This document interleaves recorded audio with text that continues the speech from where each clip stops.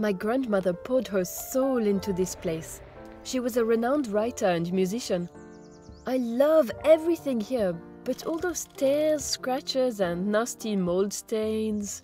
So please, don't change it too much. It's remarkable how well the garden still looks. But let's get back inside the house, since it should be your main job. I can't wait till I'll be able to play this piano. Have you noticed those paintings?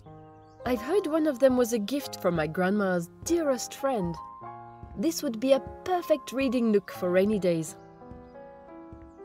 I've never had a chance to meet Nana, but I just know she was my kindred spirit.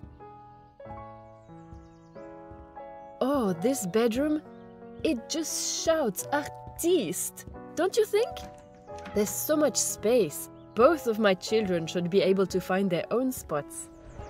I'm so thrilled to move in. Don't make me wait too long.